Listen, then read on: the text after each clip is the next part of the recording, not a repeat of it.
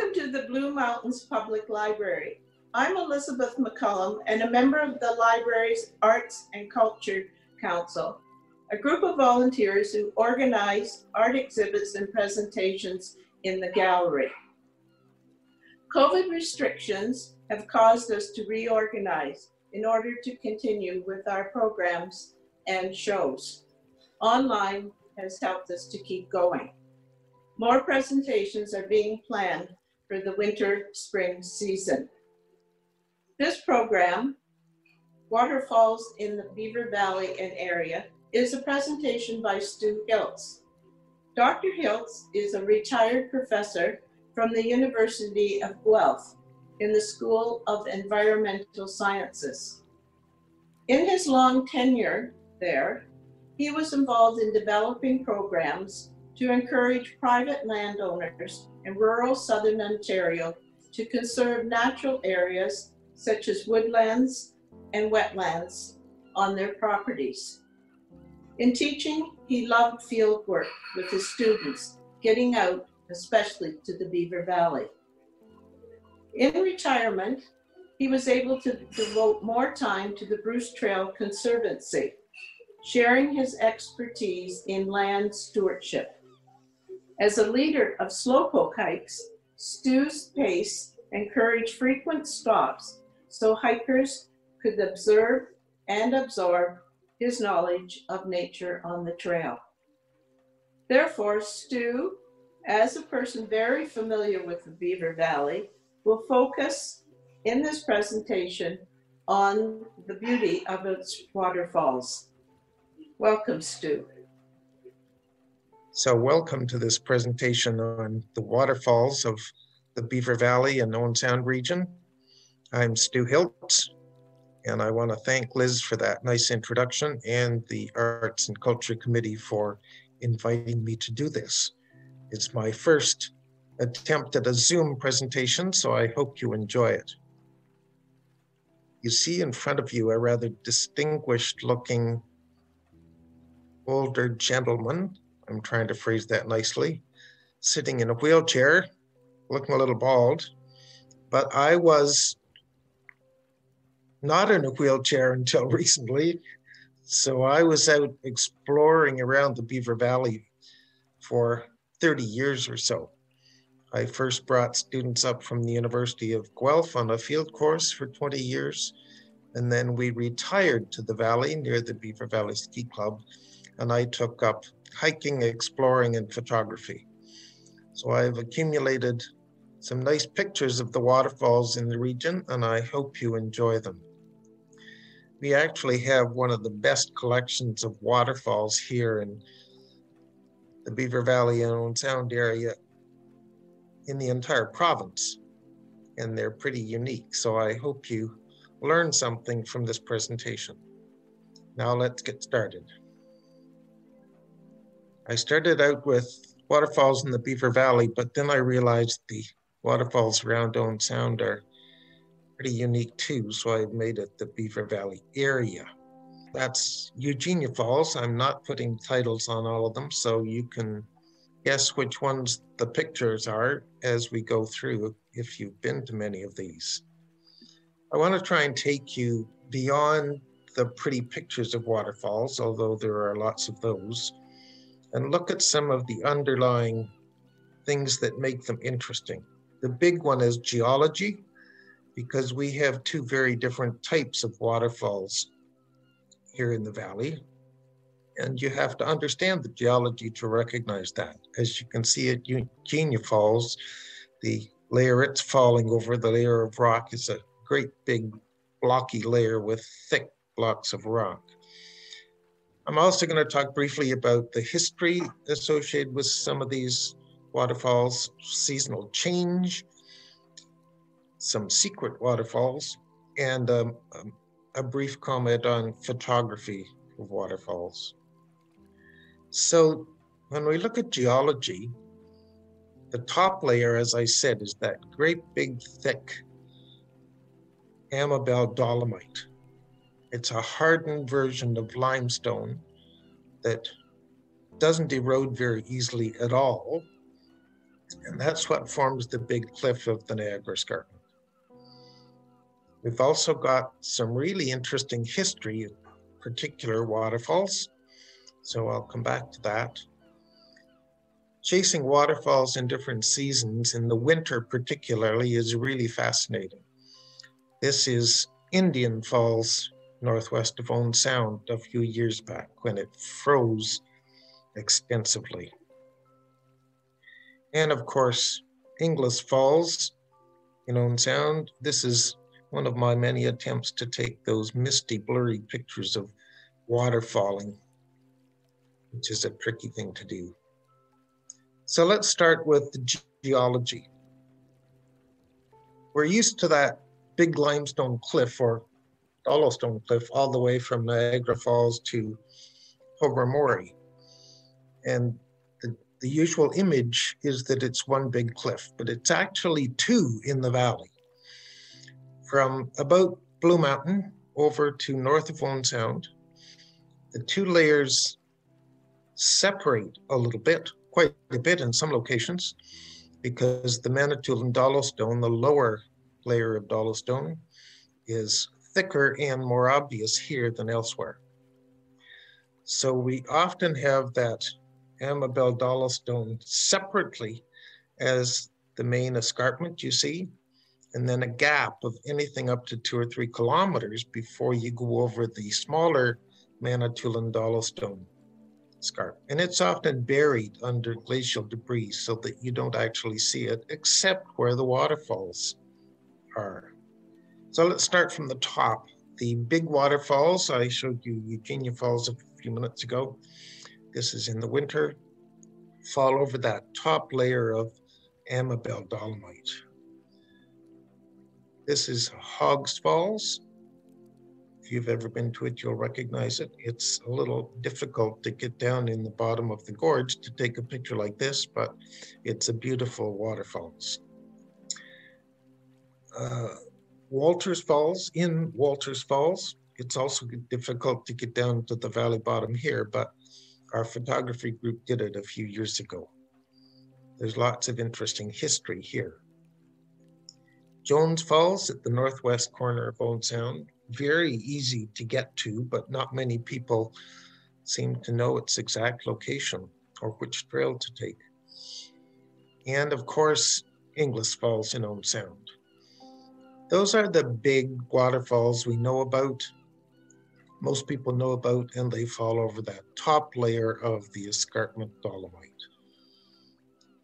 When we look at that top layer, and we'll look at the other layers soon, we, we need to remember that it's not as solid as it looks. It's filled with both crevices and sinkholes. So water can actually percolate through that dolostone and let me show you a few places. Here's some two of the crevices in the Amabel Dolostone. The remarkable narrow crevices on the left are just southeast of Owen Sound, and that's the Bruce Trail going straight through that narrow crevice and up those steps. On the right, the crevice is over in the southern part of the Beaver Valley.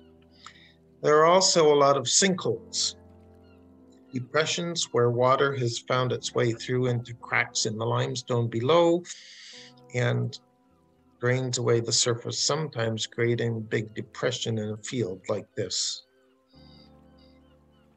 This diagram from the geology and landforms of Grey and Bruce counties might help to explain how this all happens. Often you have a barrier along the edge of the escarpment that stops the water. That's the case on both sides of the lower Beaver Valley. It's not so obvious in the Owen Sound area.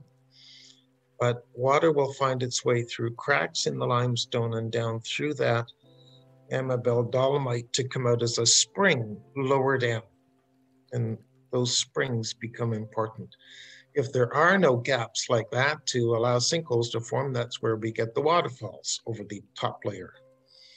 This is the, the uh, Line Valley of the Wodehouse Karst. The Wodehouse Creek flows in here. You can see a bit of the creek on the left. In the, the dark area on the lower right are some of the sinkholes where the water drains directly into the limestone. And in the background on the left is the final sinkhole, this one where any water left in the creek drains away. We'll look at the spring where they come out later on. This is a dry sinkhole where there is no creek, but there's underground drainage. And the soil on the surface is falling down into that underground stream. So let's go back to the geology here and talk about the next layer. When the water drains down through the Amabel Dolostone, it bumps into the Cabot Head Shale. Shale is a formation that has very tiny, densely packed particles, so water can't get through it at all. And it's forced to run out sideways, forming springs. So we're going to look at some of those now. On the upper left are the springs in, oh, called Kimberley Springs, where that Wodehouse karst flows out a, a huge spring considering the amount of water pouring out of the ground here. And this is the creek on the right, just 100 yards further down. Below the springs, it's known as Bill's Creek. Above the springs and the sinkhole, it's known as Wodehouse Creek. On the left is another smaller spring in the middle of Kimberley Forest. I'm actually standing on the Bruce Trail when I took this picture. And on the right is another little stream below a spring where the old Smoky Ski Club was. Below that, we hit the second Dolostone Formation. This is very different from the top Amabel Formation. If you look at the upper half of the rock here, you'll see it's in mostly thin, flat layers. It looks different. And below that is first the blue and then the red of the Queenston Shale. So the water has poured over the Cabot Head Formation and come out in springs, forming a creek that drains over this waterfall. You can see the little bit of red at the very base of the waterfall that is the typical color of the Queenston Shale. This is the waterfalls by Pinnacle Rock, which is very similar.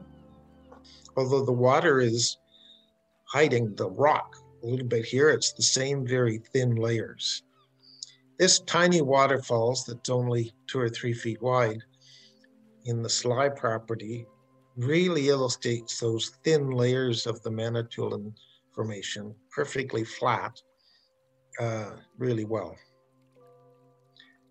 In Owen Sound, Weaver Creek Falls is flowing over this same formation, although you can't get really close to it because it's on private property. You can see it from the trail in Harrison Park. And Indian Falls is the biggest and best example of this formation. You can see um, to the left of the waterfall here, the limestone layer that forms the top half, the Manitoulin Formation, and then the Queenston Shale, first a blue and then a reddish layer down below.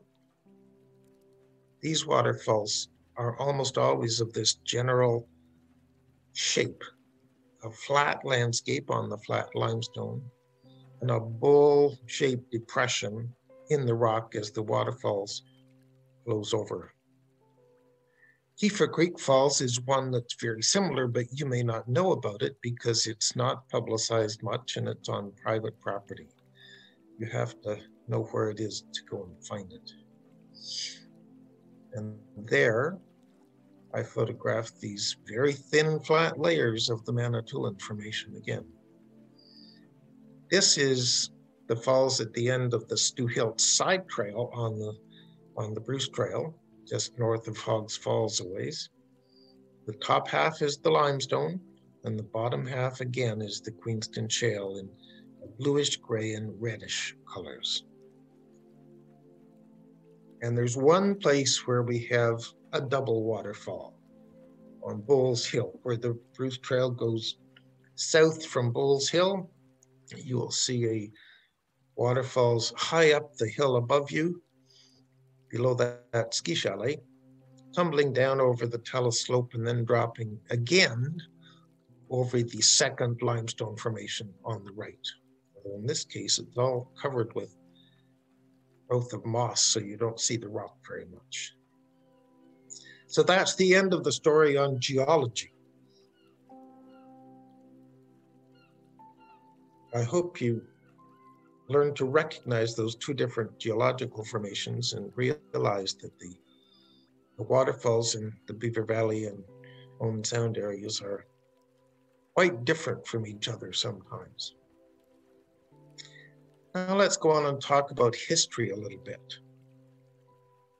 I wanted to talk about uh, Eugenia Falls briefly as one of the historical places.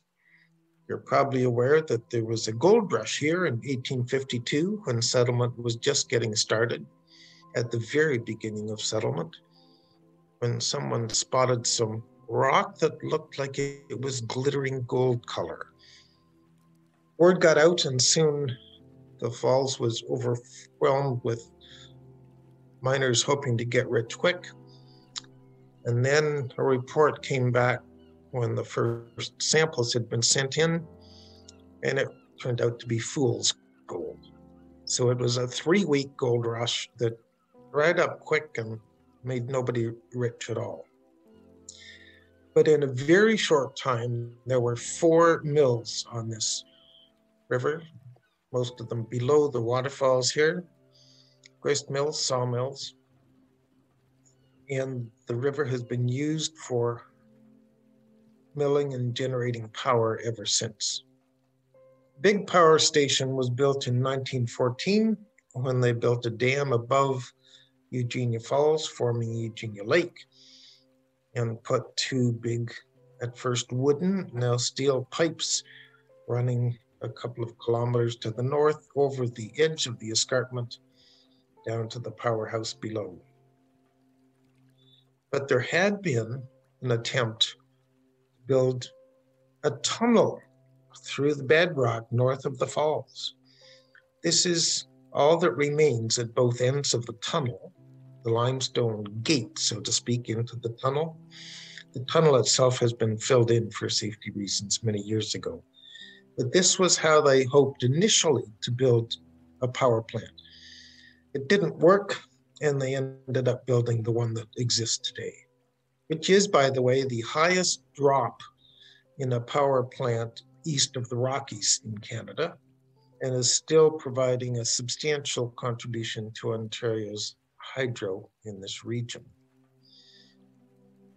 The Inglis Falls grist mill is probably well known to many of you, and there is one building above the falls remaining on the far side of the bridge.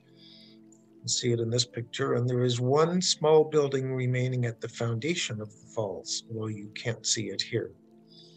This was a mill illustrated in the, the painting on the right-hand side of this picture that my great grandfather took his grain to to be ground.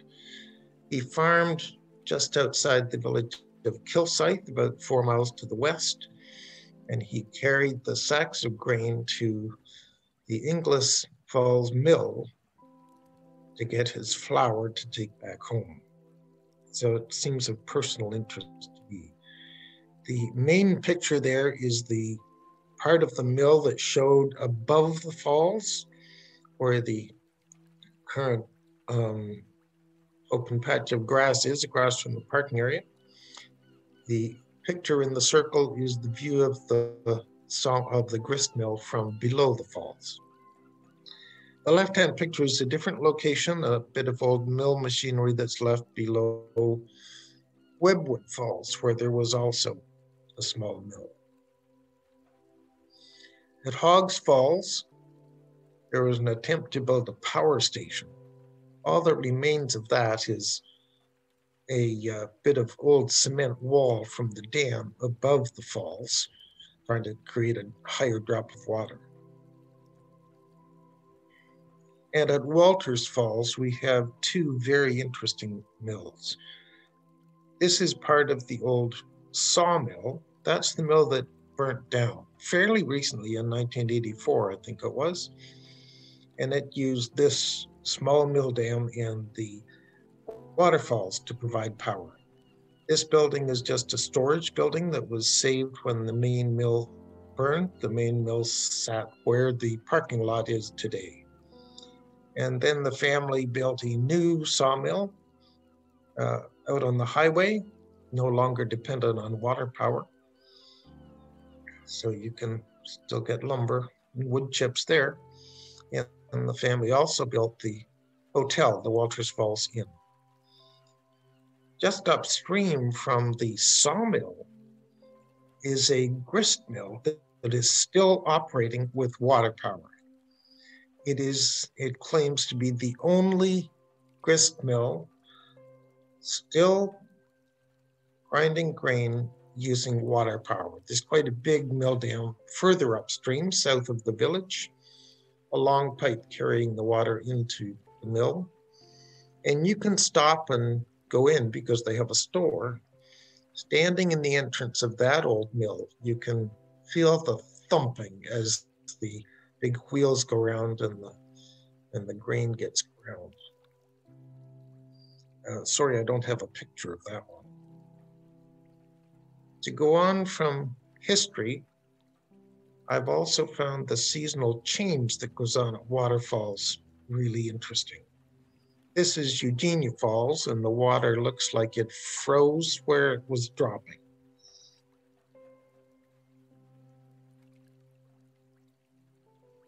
A slight bluish color sometimes. Eugenia Falls is a bit hard to get a picture of because it's not easy getting down below the falls at all. But you can get some interesting pictures from above.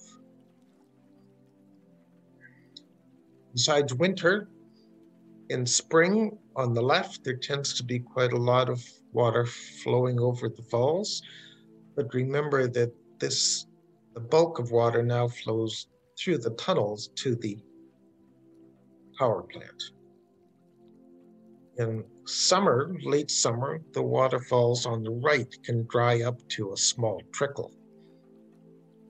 And this was the waterfalls on April 1st, 2016, the big flood, most recent flood anyway. Water was absolutely thundering over the falls. I, I imagine it must be looking like it used to look before the power plant in the spring.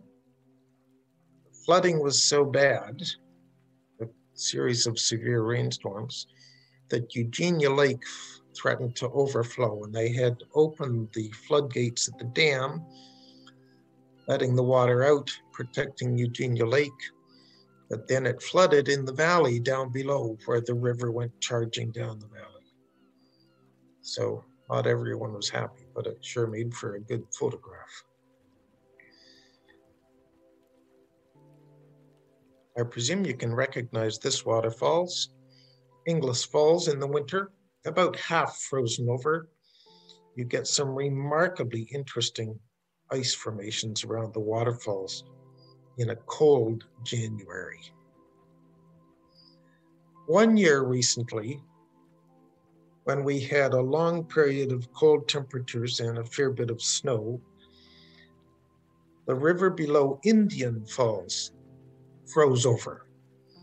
Just a few little patches of water were still open and people started hiking up the valley to see the falls from below. Normally, the trail goes up a set of stairs and you see the falls from above. After we saw the pictures in the local newspapers of this pile of snow here in front of the waterfalls, covered with 30 or 40 people, we walked up there ourselves and managed to find a moment when there weren't any people and got this picture. So remarkable number of icicles on the right-hand side, a huge amount of ice in the foreground, and there's the waterfalls on the back left. That sight you won't see very often. And this site was that little waterfalls at the end of the Stew Hill side trail. It doesn't have a name, but it's a beautiful little falls. In fact, this was my first trip in to see falls. The Bruce Trail goes along the top of that limestone cliff there on the right and heads north. And you can see the stream flowing over the edge, but you can't see the waterfalls. So one winter I got my snowshoes on and and tramped down below the falls, down a very steep slope, to look at what it looked like in the winter. And it looked quite beautiful in the winter.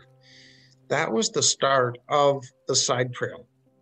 Since I was the stewardship coordinator for the local Bruce Trail Club, and the Bruce Trail owns this property, I was exploring to see if a side trail that showed the falls would be worthwhile. And you can now hike a loop on this property that goes down past the waterfall and up over a lookout at the top and back to your car. Then there are the secret waterfalls.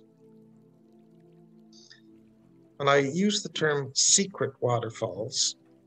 Maybe I should call them ephemeral waterfalls. These are waterfalls that only exist for a few weeks in the spring. The one on the left hand side is along the Bruce Trail off the seventh line. The one on the right hand side is along the Bruce Trail just northeast of Woodford. These are cases where there are sinkholes above, and normally, for most of the year, the water drains down through that sinkhole and out in springs at the base of the hill, leaving no waterfall, no water flowing over the falls.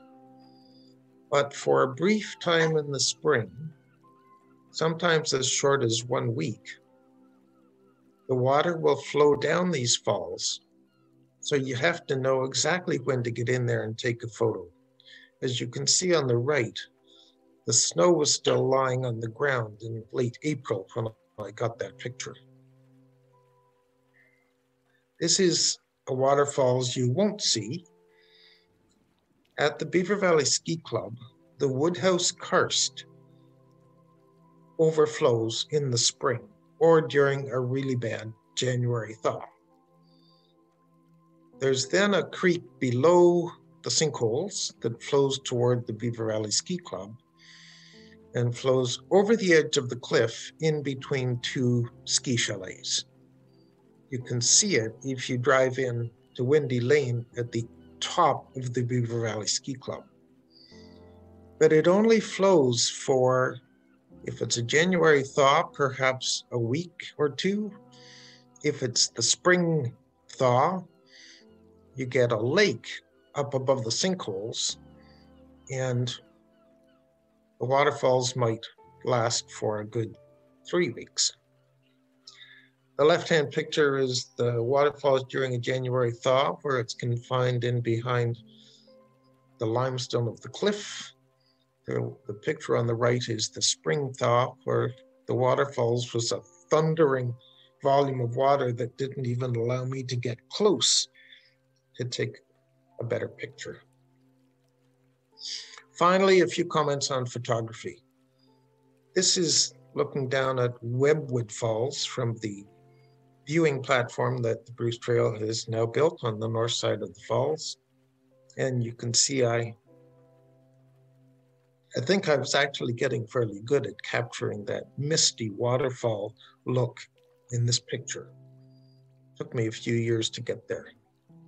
If you're going to try and do that, there are quite a few things you have to understand and be willing to adjust. It really means that you have to be capable of getting off your automatic setting on a good camera and be able to set your camera to aperture mode or, or uh, the speed control. In this case, you have to have a slow speed to allow time for the water to fall the way it looks.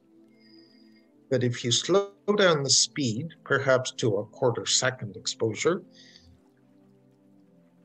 more light gets in So to compensate for that, you have to have a small aperture.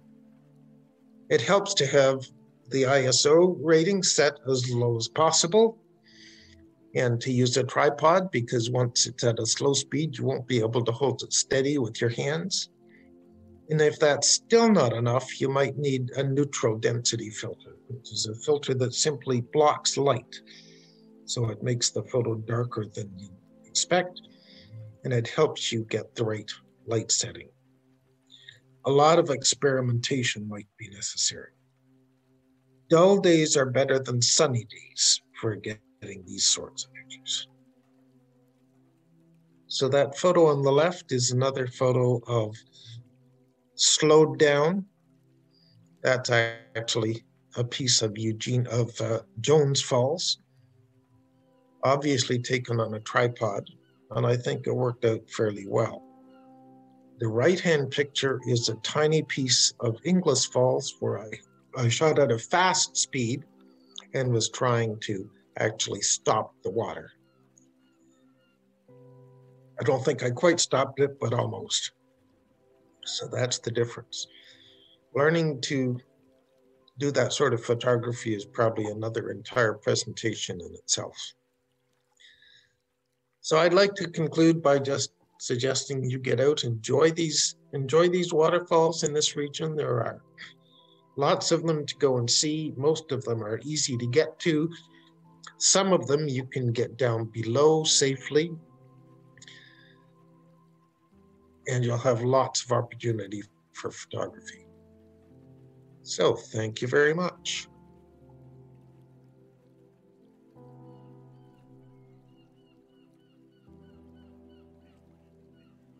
Behalf of the Arts and Culture Council, thank you, Stew, for your virtual presentation, bringing us closer to the beautiful waterfalls in the Beaver Valley and area.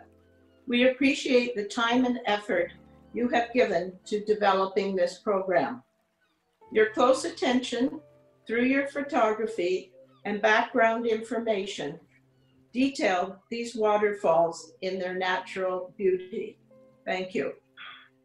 Continue to watch on the Blue Mountain Public Library calendar site for further presentations. Two are being planned for the month of March. Thank you.